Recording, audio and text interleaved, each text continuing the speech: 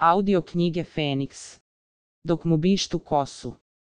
Andi, ostani posle časa, rekla je gospođa Rigo, njegova učiteljica. Nije kazala, Andreas sam, nego samo Andi. Znači opet će morati da joj očisti kokošarnik, ima već dva tri meseca kako ga nije čistio i dok su svi lupali klupama, izlazeći, on je sedeo kao postiđen i mislio je kako će ga gospođa Rigo pozvati posle posla da ga nahrani. Naravno, on će morati pre toga da se dobro umije, da očisti drvcetom prljavštinu ispod nokata i da ispere usta.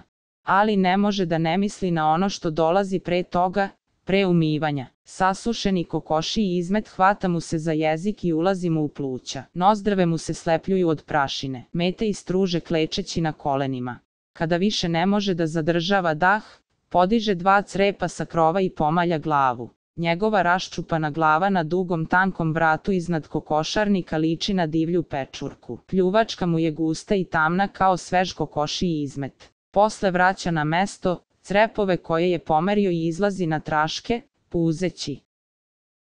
Kada oseti pod nogama prečagu na lestvicama, dohvata obema rukama stari lavor, napukao po ivicama iz skorobe zemajla, napunjen vrškom stvrdnutim kokošijim izmetom boje pepela. Olinjalu kratku metlu naslanja u ugao klozeta u dnu dvorišta, a izmet prosipa u ružičnjak. Jesen je, ruže se već krune. Bele se popadale latice, na suvom lišću. Jedna jarko crvena ruža bukti kao sunce na zalasku. Njen miris mu na trenutak zapahne nozdrve i dečak je dodirne nosom. Ruža se namah raspada. Vazduh zamiriše na sušenu alevu papriku. Sada se umiva u drvenom koritu pored šupe za drva. U početku voda je bistra i u njoj se bele oblaci. Kada se bolje nagne, vidi svoje lice, a dno je korita obloženo tamno zelenim baršunom. Uranja glavu u korito. Kokošije vaši plivaju po vodi, a u ustima mu još uvek ukus pilećih bataka sa kojih nije dobro očerupano perje. Posle kuca na staklena vrata. Otvara mu Atila, sin gospođe Rigo,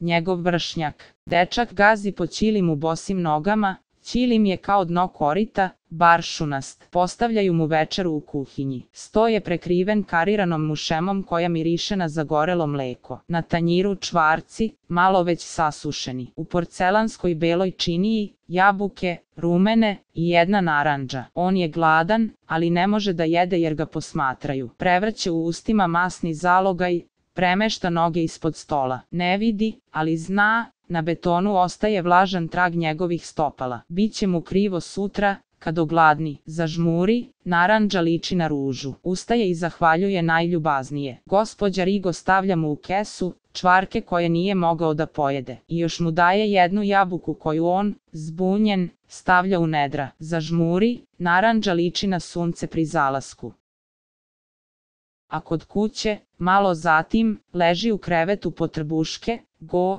samo mu glava viri ispod jorgana. Njegova majka Jana, njegova sestra, bištu mu kosu i šavove na košulji.